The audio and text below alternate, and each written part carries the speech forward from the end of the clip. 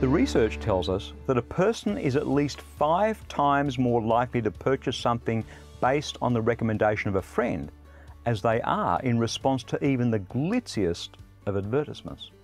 Hi, I'm Bernie Dymet, and welcome again to Fresh. I had rather a dramatic conversion. My first wife had left me for one of my best friends. I was standing on an eighth floor hotel balcony contemplating taking my own life. And yet, I'd been reading a Gideon Bible the night before. Through what I read, Jesus somehow guided me inside.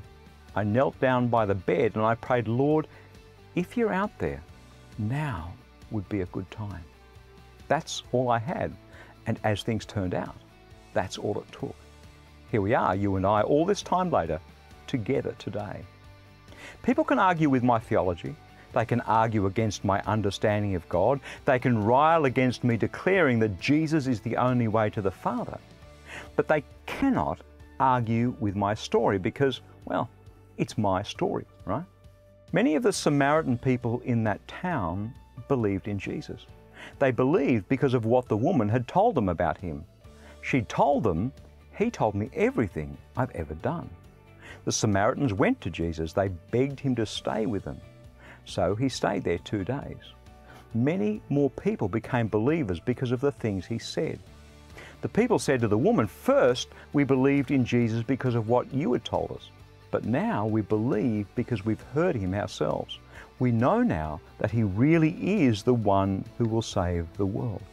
Her story of how Jesus touched her life brought many to his feet. And when they encountered him, they believed in him. Note to self keep telling your story. That's God's Word fresh for you today. Powerful stuff, the Word of God. It sort of nudges us in the right direction over and over again. That's why I'd love to share more of God's Word with you. So let me encourage you to subscribe to our YouTube channel at ChristianityWorks.tv.